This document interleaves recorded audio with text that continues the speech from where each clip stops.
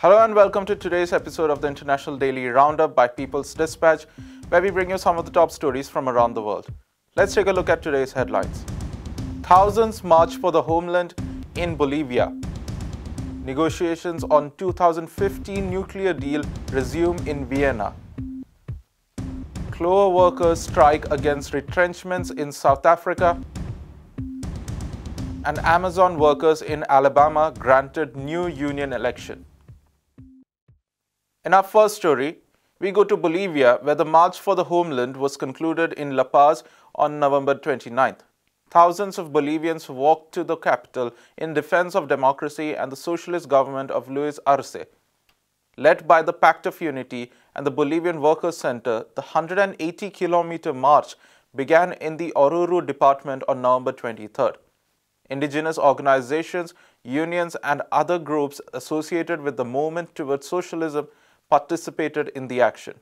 Former President Evo Morales presided over the march, adding that it was for justice against right wing attempts to restore the colonial state.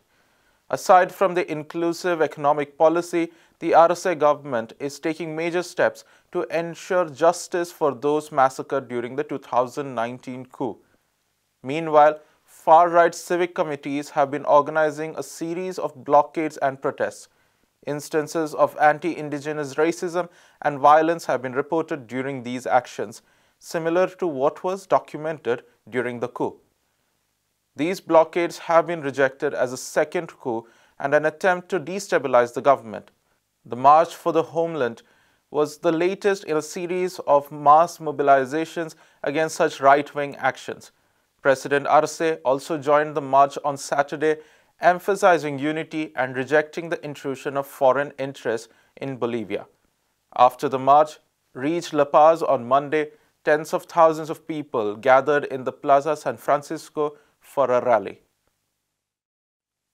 Talks to restore the Joint Comprehensive Plan of Action or the 2015 nuclear deal have resumed this week. Officials from Iran, China, Russia, France, Germany, and the UK arrived in Vienna on November 29th.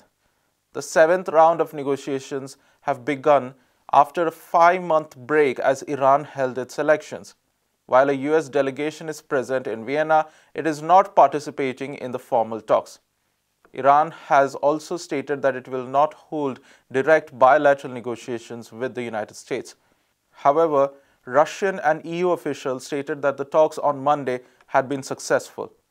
The working group on sanctions will hold a meeting on November 30th, while a working group on nuclear issues is set to meet on Wednesday. Iran has already said that it will not discuss these issues as they were resolved via the JCPOA. The United States withdrew from the deal in 2018 and proceeded to impose unilateral sanctions on Iran.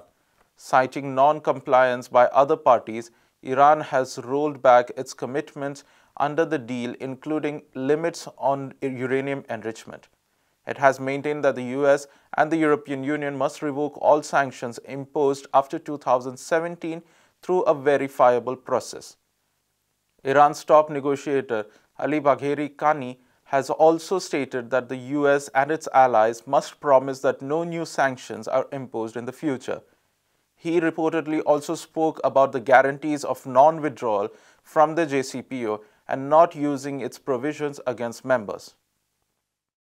We now go to South Africa, where over 5,000 workers at the largest dairy producer have been on strike for over a week. Workers at the Clover company walked out on November 22nd to protest planned retrenchments and restructuring. The strike has been organized by the General Industrial Workers Union of South Africa and the Food and Allied Workers Union. Workers are demanding that the government take over Clover and run it with the democratic participation. The company was taken over by the Milco consortium led by the Israeli Central Bottling Company CBC in 2019.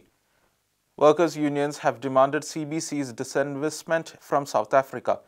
They have pointed to the company's operations in the occupied Palestinian territories and its complicity in the oppression of the Palestinian people.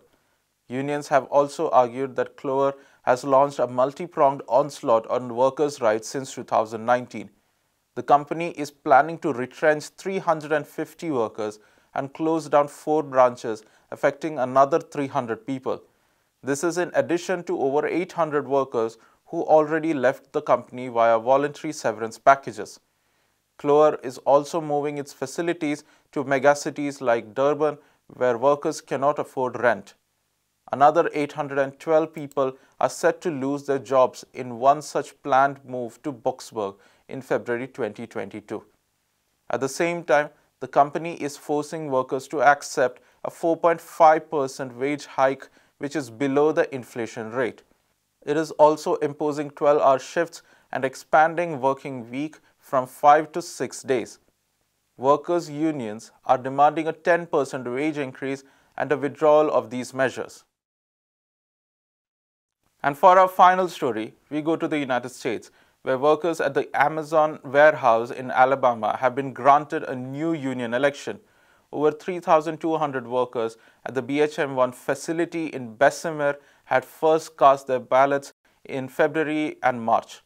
If the vote passed, they would become a part of the Retail, Wholesale and Department Store Union or the RWDSU. This would make BHM1 the first unionized Amazon facility in the United States. However, the action failed after 738 workers voted in favor while 1,798 voted against. The RWDSU filed appeals citing anti-union propaganda and surveillance of ballot boxes by Amazon. A major issue raised was the mailbox, which was installed right outside the exit gates of Bessemer warehouse. The union stated that this gave the impression that Amazon would be involved in counting the ballots. The National Labor Relations Board review found that this on-site placement was the unilateral decision of Amazon. The report said that the company's actions destroyed the laboratory conditions for the election. The board's hearing officer recommended in August that another vote should be held. The NLRB's regional director authorized the second election in a ruling on November 29th. And that's all for today. For more such stories, visit our website at www.peoplesdispatch.org and follow us on Facebook, Twitter, and Instagram. Thank you.